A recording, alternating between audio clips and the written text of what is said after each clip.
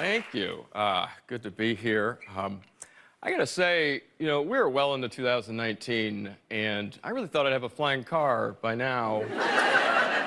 or even a regular car. That would be. I'd settle. Uh, I definitely should have like lowered the bar for how cool the future was gonna be. You know, when you're a kid, you think stuff like, oh man, I wonder if I'll have a jetpack. and then you turn 30 and it's like, oh man, I wonder if love is real. That'd be neat. Uh, uh, so, yeah, I'm single. Uh, sorry, ladies. Uh, you got me to deal with. Um, I like being single. I don't like it as a term, though. Like, I don't like that single is a legal term on government forms. I don't need that. Uh, the government isn't even sure about my home address. I don't see why they just have to know no one loves me. doesn't seem pertinent. Um, uh, I'm doing fine, by the way. Don't worry about me. Uh, I've just been tomcatting around on these dating apps. Um, not going that well. I say stuff like tomcat. It's uh, not what the kids are saying, as it turns out.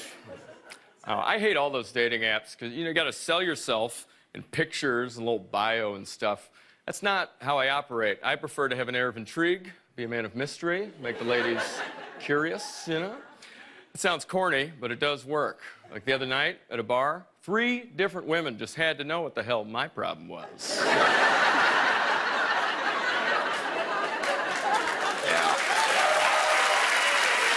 Thank you.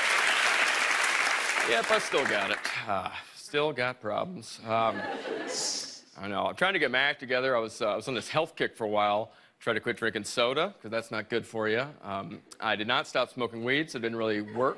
Uh, but I am proud of myself uh, because I managed to stop drinking Mountain Dew, which, if there's any former Dew heads here, God bless you. Um, I never got into heroin, but I assume it's almost as hard to quit.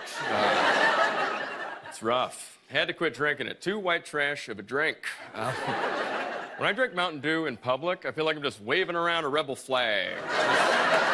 starting all kinds of trouble. Uh, it is a rebel flag of sodas, for sure.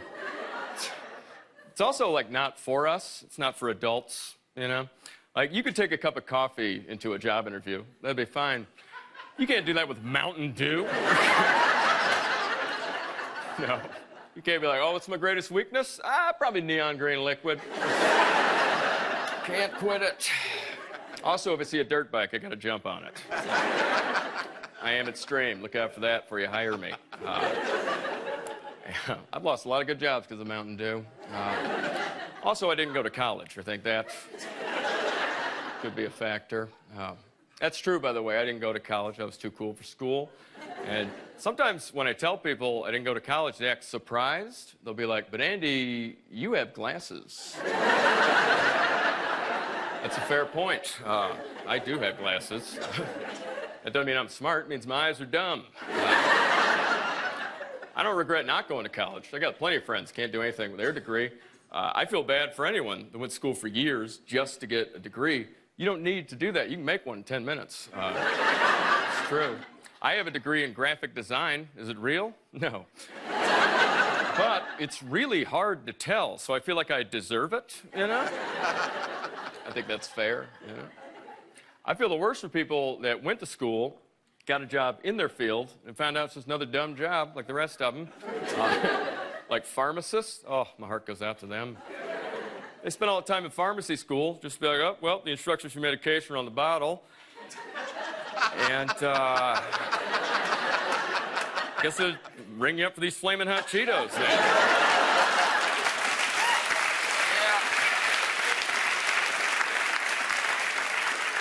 yeah, I'm a doctor. It's cool. Uh, that is sad. And they have to be the only doctors that work a drive-through shift, right? I'm just saying they don't do any doctor stuff. Like, they can't even take your blood pressure because there's already a chair in the pharmacy. Stole that job from them. Depressing.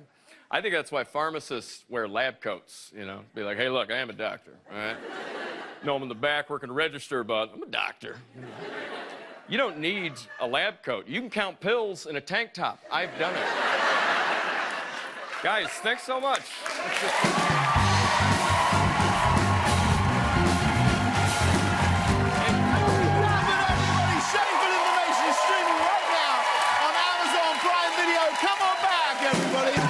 Go.